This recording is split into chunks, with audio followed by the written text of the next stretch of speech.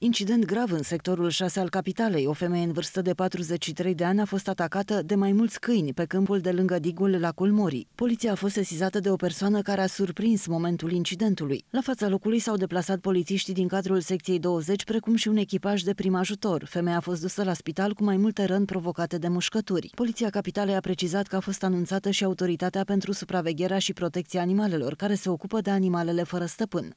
Un comunicat al primăriei municipiului București arată că echipajele Autorității pentru Supravegherea și Protecția Animalelor au găsit 8 câini într-o zonă de câmp deschis. Șapte dintre ei au fost ridicați, însă un al optelea microcipat nu a fost preluat deoarece proprietarul a refuzat predarea câinelui. Potrivit anunțului transmis de autoritățile locale, Poliția Locală Sector 6 nu a fost sesizată cu privire la acest caz, iar Primăria Sectorului 6 nu are competențe asupra animalelor fără stăpân. De asemenea, Poliția Locală Sector 6 a sesizat ASPA ori de câte ori a întâlnit pe raza sectorului câini fără stăpân. Astfel, în perioada 2019-2021 au fost înregistrate 261 de sesizări, iar în primele trei luni ale acestui an, 7. Autoritățile subliniază că pentru a evita pericolele, patrupedele trebuie sterilizate, altfel se înmulțesc și sporesc numărul de câini fără stăpân.